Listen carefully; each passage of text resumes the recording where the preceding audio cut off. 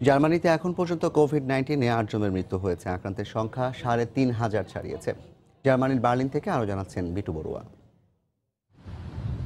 দিনের পর দিন জার্মানিতে ভয়ঙ্কর রূপ নিচ্ছে প্রাণঘাতী কোভিড নাইন্টিন আক্রান্ত অনেকেই সুস্থ হয়ে বাড়ি ফিরে যাচ্ছেন, তবে নতুন করে আক্রান্ত হচ্ছেন অনেকেই। জার্মানির সত্তর শতাংশ মানুষ ভাইরাসে আক্রান্ত হতে পারেন বলে চ্যান্সেলর আঙ্গেলা ম্যাকেল যে সতর্ক বার্তা দিয়েছেন তাতে আতঙ্ক বেড়েছে প্রবাসী বাংলাদেশিদের মধ্যে।